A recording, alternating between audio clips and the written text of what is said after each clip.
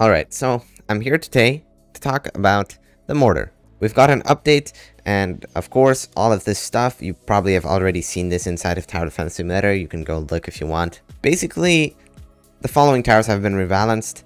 We see the mortar again. Now, this is the third update in a row, back to back to back, where we have seen the mortar be rebalanced. Now, I don't know if you know what that means, but it's pretty clear that Tower Defense Simulator doesn't know what to do with the mortar. They wouldn't need to rebalance a tower three times if everything was fine with that tower.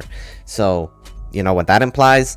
There's problems with the mortar. So here I go on Forgotten Docks, and I'm going to talk about what this issue is. Now before we get to that point, I of course need to farm a little bit, and as I'm farming, I'm going to talk about just this update in general because it was kind of a big update I didn't get to check out all of the tower rebalances, but I did get to check out like the Golden Cowboy, and I would say that probably farming is going to be more efficient for money now, because the Golden Cowboy was just really, really good. It was better than farm in pretty much every way. It could defend anything, all while providing you more money than a farm could if you spammed enough of those cowboys. So I definitely see where the developers were coming from when they implemented that nerf. But then again, as for the other stuff, I didn't get to check it out. The new UI, what I think of this, I guess it's kind of cool. The towers not being blocked by the enemies, that's actually amazing. Back then, uh, well, you see uh, the engineers on top of the normals, but if I'm trying to click on a tower, for example, it wouldn't prioritize me clicking on the enemies. It would uh, let me click the engineer. I guess? Or one placing. Not sure exactly how it works. Point is, it's the, the enemies get in the way less, which is a very neat change. Uh, they also kind of glitched this farm a little bit. I mean, you can see that they have, uh, well, these floating things. That's only supposed to be, like, glass on the max farms, I believe. Actually, I don't even think it's glass. I think it's, uh, just part of the max level farm. Whatever. Not the best design, but okay. Let's finally get to talking about the mortar. So the way the mortar works, and everybody already knows this, but I'm still going to explain it just to set some grounds here. The mortar is a splash damage tower. So when you place it down, it's going to shoot a projectile that explodes. So here we go. I'm going to place it down, and, well, these enemies are out of range. So here we got a horde. When the mortar shoots this horde, you see it should do exceptionally well at clearing this horde out, and you can see that it does. It handles that horde much easier than a tower like, I don't know, the engineer would here. The engineer would definitely take longer. And that was always usually the case. The mortar would do pretty good against clustered low HP enemies. But you see that speedy right there? Uh, that part you just noticed? That is exactly the mortar's weakness. Single target. When there's not a horde, the mortar is going to do definitely a lot less damage than say this engineer here because the engineer it focuses all of its power on one enemy at a time. Anyways the mortar needs hordes like these for it to be good. So you see we have the boss here. I'm just gonna upgrade my mortar a bit. Look fantastic. Clears out these normals like they're nothing. But now let's look at the damage to the boss yeah, that's not the best. If I was to spend $2,000, I could do it on this minigunner, and it would uh, definitely do a little bit better than this. But alright, I'll admit, this balancing has made the mortar pretty decent. Like, it's actually able to wipe out these enemies pretty well at the start. So then, if the mortar here appears as perfectly fine, where exactly is the issue with the mortar? What makes it a tower that the developers physically cannot fix no matter what they do? Well, you see, in TDS, you can have the right amount of defense, or you can have an overkill defense. With the right amount of defense, wave 12 and look at my farming. Isn't this just... My farming's insane. Now, with over-defending, if I were to invest all of my money into, say, this minigunner instead of my farms, how exactly would that benefit me? I will still be able to kill every enemy because that's ultimately the goal. Doesn't matter what way you do it, if you kill every enemy, then you're doing well. Like, for example, this upgrade, Geared Up. It costs $5,500 and I can't afford it. But through the concept of over-defending, if I were to get it, I would have less money on my farms. And spending less money on my farms means less money later on in the game, means I have a higher chance of losing later on. Now, why am I explaining this? That's because the mortar very well falls under the category of over-defending. You can see it's doing fantastic against these early game enemies, but now connected to over-defending. Do we really need such a strong but kind of expensive tower to defeat enemies that are pretty easy, like these hiddens. Your point might be, no, like, look, the mortar is, is great against these breakers, but, um, so would this minigunner be, you know? Because the, the splash damage of the mortar, you see here? It's not necessary for me to be able to beat these breakers. And even though it sounds like I'm saying a lot of gibberish right now, things are all going to make sense. Because I've established the concept of over-defending, and you know that you never want to spend more money than the bare minimum you need for defending, think about the mortar in this scenario. If a single target DPS tower, like the minigunner here, can handle hordes like these, I mean, to be fair, it's higher level than the mortar was. But here we go. Here's a lot of breakers. This is what you want the mortar for. Uh, well, you see, the minigunner... Well, I'm probably going to need to max it here because uh, that's a lot of breakers. I can already get by without the mortar. And remember, if I only need the bare minimum, this also applies to my tower slots. Think about it. If I can defend, say, without the engineer in my loadout at all, the only purpose of me bringing the engineer would be for the purpose of over defending. I mean, it would be overkill, right? And if over defending is something you don't want to do, you can remove the stuff you don't need to clear up space for things that actually help. So again, for the purpose of understanding, you see this is a pretty big horde. If I were to have a mortar, it would absolutely annihilate this horde but why would I need the mortar to annihilate this horde if my minigunner can already do that? You can notice my loadout, for example, doesn't have DJ. And pretend that the mortar doesn't exist in my loadout here. The DJ would actually provide more help since that would only empower the stuff that can already do the defending. So basically make the job of defending even easier. So what I'm establishing here is that mortar falls under a category of a unnecessary tower. If your other towers can do the job, then it would be better to take towers that help them do their job rather than extra towers that are not necessary in any way whatsoever. Now, I guess you can argue that Mortar would make the job of the minigunner easier. I mean, it would shred all of the hordes and leave the single target stuff for the minigunner, which excels at it, to deal with. But think again, single target, right? That's the mortar's one weakness. The minigunner does not have a weakness. It can deal with hordes and it can deal with single target. Do you see here? That means the mortar has a con. It has a reason you don't want to use it. The minigunner does not have a reason you don't want to use it. Well, other than maybe there being a stronger tower that you'd like to use in place of it, but I hope you can start making the connection here. Mortar falls under a category of useless over defending, and it has a weakness, that being single target. So now you have to balance things out here. Is the mortar in the loadout actually worth the extra crowd control it gives?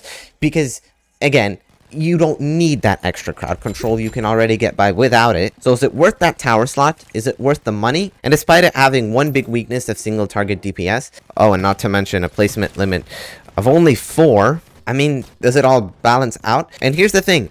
The very reason that this tower is just an absolute pain for the developers is that it doesn't. You see, crowd control can already be provided by towers such as like the Engineer, which has explosives in its War Machine missiles. And yes, although it's true that it's, you know, much more expensive and harder to get an Engineer than a Mortar, which is only level 75, you can also find stuff like the Pursuit. I mean, it's only 25 levels away, yet it's significantly better than the Mortar because it excels both at crowd control and single target DPS. If a tower has enough single target DPS, then crowds are not even an issue. And with the way the game currently is, single target DPS is actually enough to deal with hordes. To help my point, I mean, let me just get rid of uh, the engineer here because that's splash damage. And look at this. It's a horde of enemies, and, uh, well, these minigunners are purely single target DPS.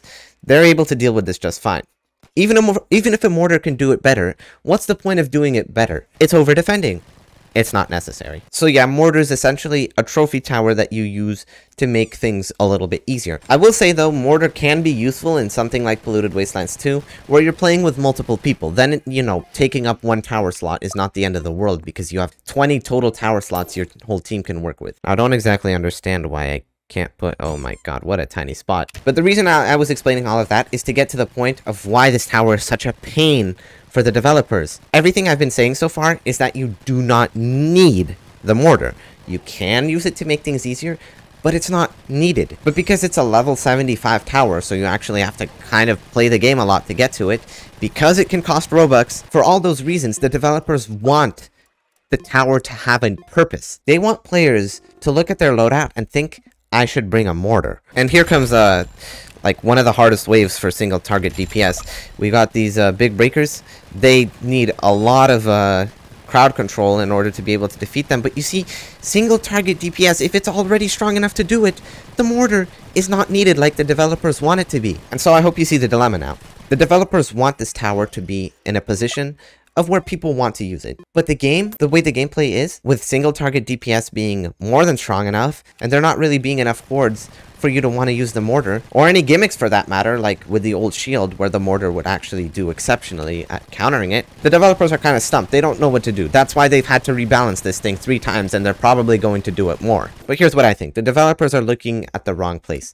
The issue is not with the mortar. They can make it do a thousand damage per shot or whatever, but I mean, okay, at that point, I guess it would also be a goaded single target DPS tower. But they can keep making all these changes to it, and it's not going to increase the, the amount people actually use the mortar. What the developers should be looking at, if they really want people to use the mortar, is actually the enemies. You see, these breakers are the best example of absolute crowd mayhem, where a mortar would really actually help in taking care of said crowd. And the developers are almost there with these breakers. They provide enough of a crowd sort of challenge to really push your single target towers, but not enough to overwhelm them if the developers instead made maybe like five times the amount of breakers on this wave come out, then my single target would actually be overwhelmed. These breakers would probably leak. But if I were to have a mortar, it would deal with five times as many breakers just as easily as it would deal with all of the breakers we saw there. The amount of enemies doesn't actually matter to the mortar because the mortar does equal damage to everything in its explosion radius. So it's essentially tower defense simulator hard hordes that are way too much for single target DPS to handle, but just right for the mortar to handle, then suddenly you're now going to have to put some thought into what you're going to bring into your loadout. You're not going to be able to just chug along with some minigunners, maybe some accelerators that do all the work. You're going to have to have something like a mortar, a Rocketeer, and I guess Pursuit and Engineer since they have splash damage. But having those towers be a requirement will actually add some variety into your loadout. It's not just going to be spam minigunners and that's good enough for the rest of the game. That's not what tower defense is about. TDS is intended to be a strategy game where you have to think and plan your strategy. And there's not that much you have to do of that, unless you're playing maybe Polluted Wastelands 2, Badlands, or Hardcore. That's the only times you'd ever really have to think about what you're doing because in the majority of scenarios, just spamming max level stuff like I have here, it's going to do the work, and that gets boring pretty quick. That's why TDS's player count, although it can go all the way up to 100k, that's never gonna it's never gonna stay there because people are gonna very quickly get bored of the gameplay. Look at this humongous horde that minigunner spam can just take care of like it's nothing. Let me bring up an example.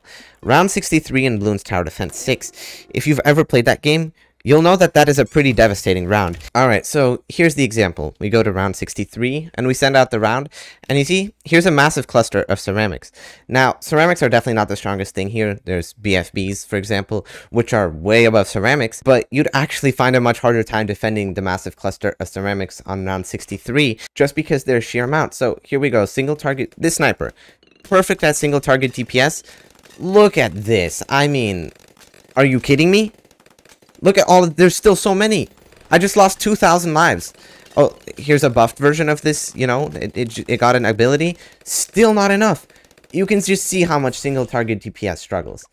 But now, for example, if we were to grab ourselves something that is great at crowd control, see, like this, this uh, bomb shooter right here. But okay, that wasn't the best placement. Let me let me put it right here. Here we go. Send out round 63. So this is much cheaper. And the only difference is this tower is now just splash damage based.